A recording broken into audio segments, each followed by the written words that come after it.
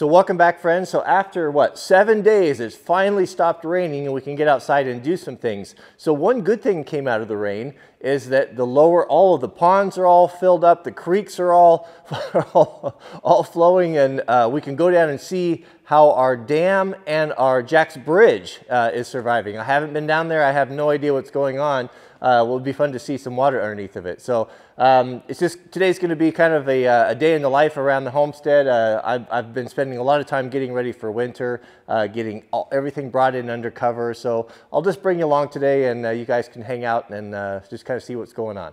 So I was kind of anticipating snow this week, but it looks like it's pushed off for another week or 10 days, maybe even. So I'm, I'm gonna go ahead and I'll, we'll take off the snow removing equipment put the bucket on and, and, we'll take the tractor down there. I've got some other little things I need to do. Um, but uh, oh, also tire chains. I, I had a heck of a time putting tire chains on last year because of those huge spring tensioners. Uh, I've got a, I found a tool, a couple of you recommended to me from a, there's a guy that sells snow chains for everything online and it's like a, um, it's a, a, binder, a chain binder that he's got these special hooks in it. So I ordered one, it was only like $18 and that's coming. So as soon as that comes, we'll throw the chains on because it's getting kind of muddy around here. We sure could use them. So I've got everything brought in, uh, everything under cover this year. The sawmills all broke down and uh, I'll take you down, I'll show you the lower barn. All of the summertime implements, mowers and things that I don't use during the winter, I have down in the big barn and then uh, the stuff that I'm going to need to get to this winter, like the forks and the bucket and the snowplow and the blade, will all gain shop.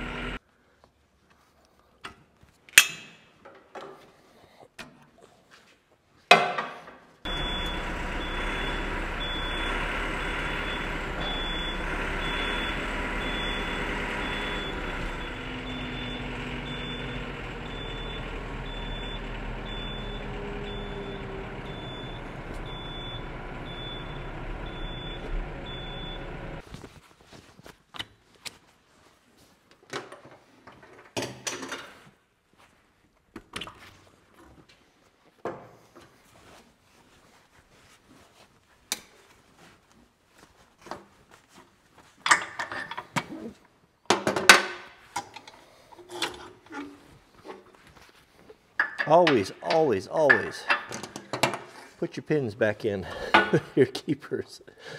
They'll go away if you don't. It really is something.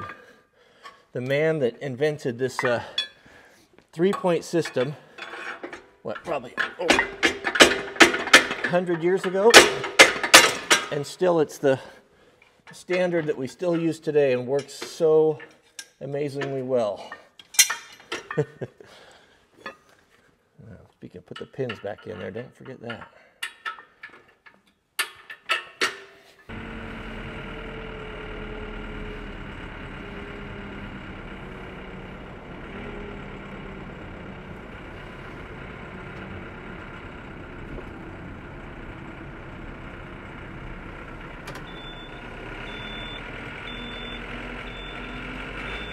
Since there is no particular theme today, I can just talk about anything I want to, which is kind of fun. Uh, so a lot of people have been asking, you've noticed in videos, uh, what is this thing I've been packing around?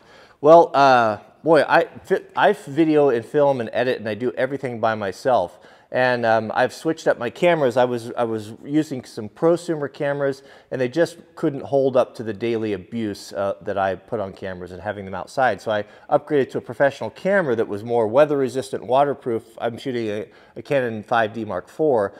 Problem is, is it doesn't have a forward-facing screen. So I, without a cameraman, I, I, can't really control the focus. I had no idea what was going on. And so I got to looking around trying to figure out how, what the solution is to this. And I didn't want a big monitor and all that hanging on there. I wanted to be able to control the camera remotely. And, and it, the Canon has a really cool um, uh, app for the iPhone. And so what I, what I basically did is I built this little tiny director's rig. So this is my iPhone that clamps into a, a really nice high quality billet aluminum clamp on a Pro Media Gear base with a handle.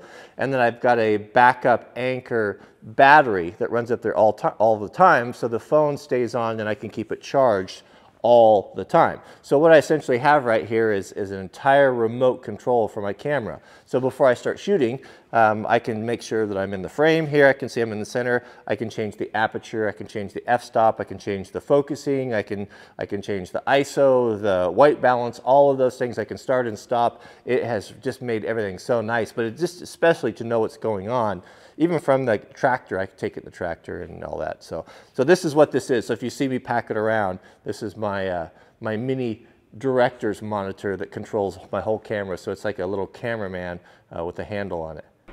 All right, here we go. Let's go down and uh, check out the dam and the bridge. We'll bring our little drone friend. See what we can see.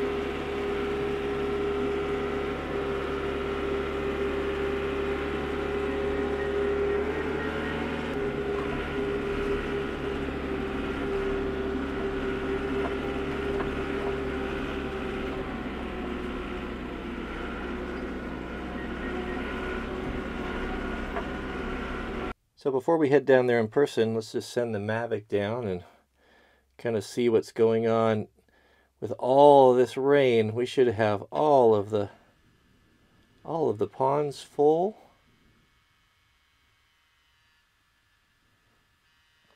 There's the Christmas bridge.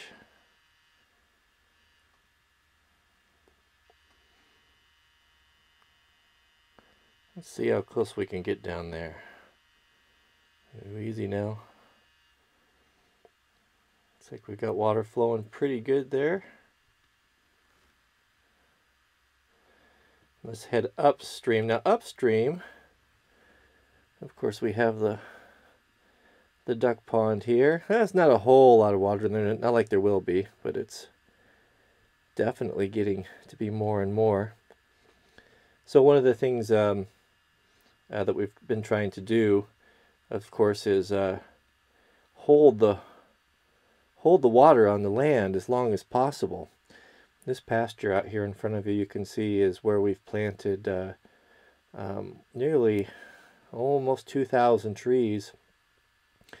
In the first year, we had a 90% mortality rate because it was just so dry. Um, granted, there was a bit of a drought, uh, but uh, that was a pretty high kill-off.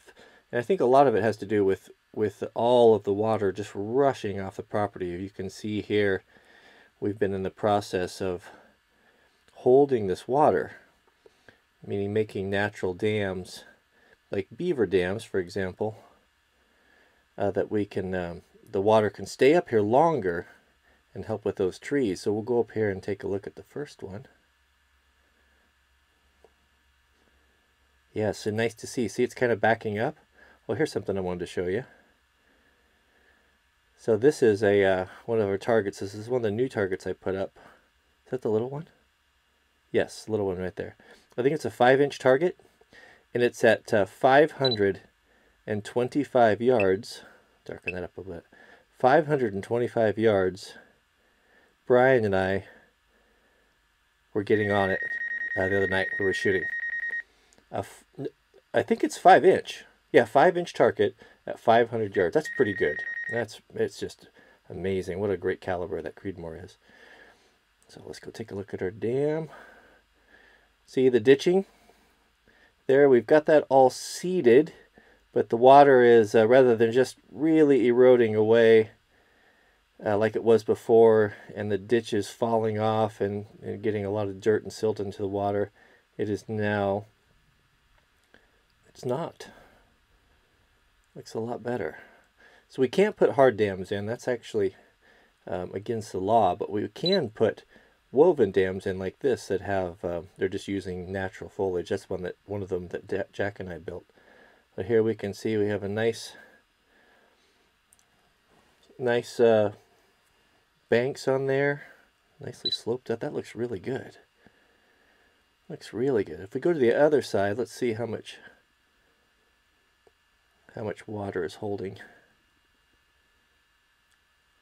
A lot easier to fly down there, isn't it? There we can see. Not a whole lot. You can see there's a little bit of a, definitely a little bit of a elevation difference. But as we, uh, as this silts up and natural, you know, leaves and grass and debris and silt and stuff will just continue to, you know, we just got it started, just got the ball rolling, the nature, nature will take over it, and that's going to back this water up and hold it It'll, as it just filters and kind of sifts through um, these dams. All right, well, I'm going to bring the drone back here, if you're not dizzy enough yet, and then we'll uh, take the tractor down and uh, go see how the bridge, how the bridge is holding up.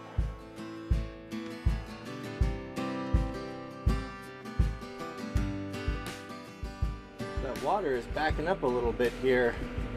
This might be a little too soft. I might just give this a bit of a wide berth.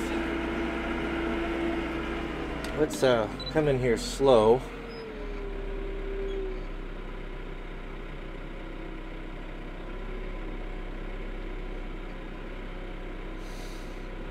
That's getting a little too soft right there. Definitely leaving some marks. Whoa. Get out while the getting's good. Okay, so that's not going to work. I built actually built the road over on the other side over here. Let's see how that looks over there. Yeah, it looks hard. Okay, so let's let's go around and uh, come in the other way rather than get stuck. No reason to get stuck. Take an extra couple minutes and come in a different direction.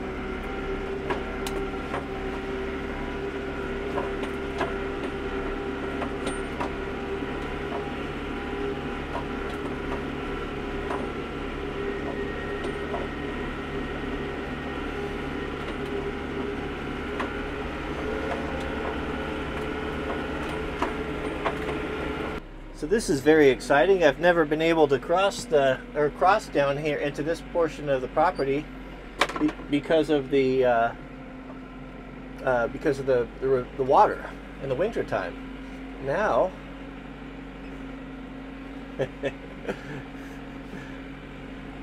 that feels pretty good to be able to do that. It opens up a whole other a whole other uh, dimension here for us we'll be planting in the spring, we'll be planting some um, um, aspen. And we're going to try to, uh, to plant some birch and cedars in here. And then maybe over the next 20 years or so, we can have, uh, have everything much more lush and, and like it used to be. Uh, this was, has been used, this land here for the last, oh goodness, 150 years or so, 120 years maybe, uh, for growing dry wheat and and and crops. And so we are uh, takes a long time to try to put it back. We're putting it back into timber and forestry. So but we do what we can a little bit at a time but this is very pleasing to see uh, starting to change and everything starting to work out. So it's pretty nice. I completely forgot I had these timbers stored these leftover timbers down here. I am gonna have to throw the forks on and come down and get these guys They're going to get ruined. Having all these trees around here, it is awfully hard on drones. I have a literal drone graveyard from all the crashes. Sad thing is, is this is the first time out I've tried these, uh, DJI's got these new propellers that are uh, quieter. They, this is the first time I've, I've flown them. Uh, they're, they're much quieter and they're um, the the drone flies better with them. It seems like it's it's a little less squirrely and a little more, just a little calmer, easier to fly. And I, I, flew, I didn't have it going for 10 minutes and I flew one into a tree branch and broke the tip off of it. So I'm gonna have to put the old ones back on. All right, that's probably, probably done with that today.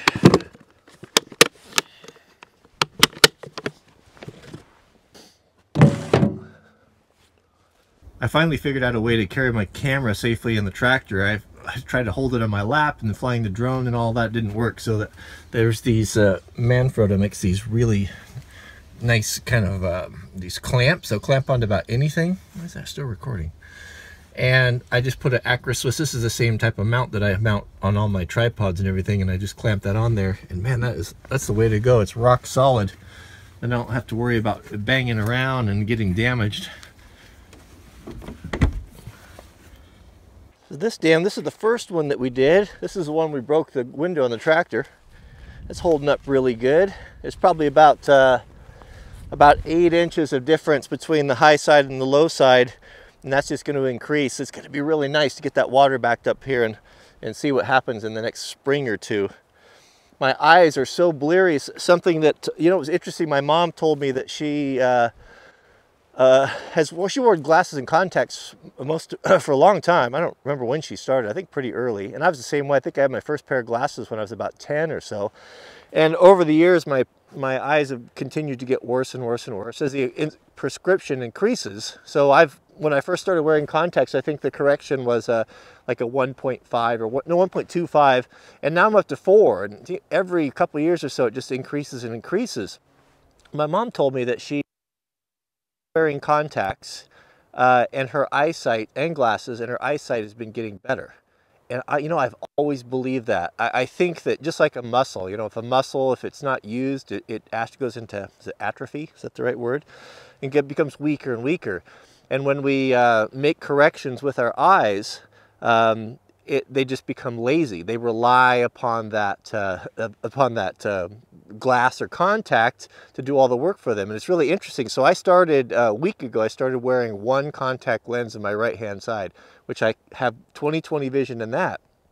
And in my left eye, I have uh, almost legally blind. Like I could not drive without glasses or contacts. And the interesting thing is I'm going to do it for a month and see if my if my um, vision doesn't get better. The thing that I've noticed that's so fascinating is that my eye, my left eye at the end of the day that's not being corrected, just is aching like a sore muscle uh, as it's trying to, to deal with um, you know, bringing everything into focus. It's getting stronger and stronger and stronger. And it's exciting to see. I, want, I've, I wonder if, if uh, glasses and contacts, if, if it haven't just become such a crutch um, that there's got to be a better way because as I'm, I'm, getting so aggravated not being able to see um, detail work when I'm working in the wood shop and shooting rifles and it's it just seems like it's always a problem and I'm juggling multiple pairs of glasses or reading glasses and all that. So I'll report back to you on that if that works we'll see how much better my vision has gotten in, in uh, four weeks uh, by not correcting it. I, I think it's going to work. Today really feels like winter. It's about 31 degrees and cold and supposed to have some snow coming soon. So I wanted to take you up, I'll show you the big barn. I've got finally got that all organized uh, and all the equipment brought in. And then I thought, you know, maybe we should might do some mowing today. It's dried out enough and it's something I put off. I didn't get to this spring or this fall. See if we can spin around here and go back across the bridge without getting stuck. It's pretty dry on this side. Looks okay. I never get tired of crossing the bridge. It's, I can only, the sense of satisfaction from building it is really great. I can only imagine what it must have been like for the those guys that, you know, do like amazing bridges like the Golden Gate Bridge or huge, those huge projects.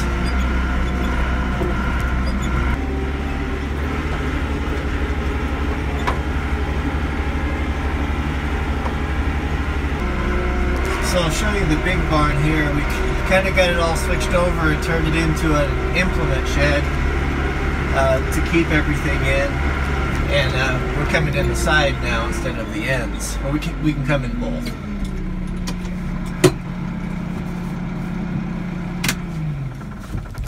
So this was a couple day project here. We took all the siding off here and then opened this up into multiple bays. So uh, we've got, I wanted to get all of the equipment and everything out of the, out of the snow. Certainly didn't want it uh, to be out in the, getting rained on and all that. So uh, this bay right here, we left one open there for the van. I'm still trying to get rid of the van. I keep having buyers, but no one wants to come out and buy, buy it. But uh, this is for the trailers. So I got the trailers backed in here. And then we got um, the six-way and then the rototiller and the post hole digger and the backhoe, backhoe. I tried to organize things in a way that they were, uh, we could kind of get them out as we needed them. Uh, we got this, the Lucas Mill uh, stowed here and the power head. And uh, Brian and I had a couple days just servicing everything, getting everything greased and oil oil changes and all the maintenance of it. We got the fire skid there. And uh, the flex wing mower. This, I think what I'll do is pull this out. I probably should have put the, the brush hog in first and then that one, but we'll move some things around here. Get this hooked up and uh, we'll do a little mowing today.